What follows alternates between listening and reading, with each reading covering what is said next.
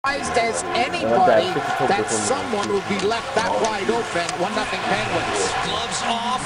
Erskine says hello to Asham and says, "Do you remember Jay Beagle?" Well, you knew it was going to be Erskine or Hendricks that was going to go after Arron Asham. Asham with some terrific rights early. Erskine responds with a roundhouse. Down goes Arron Asham.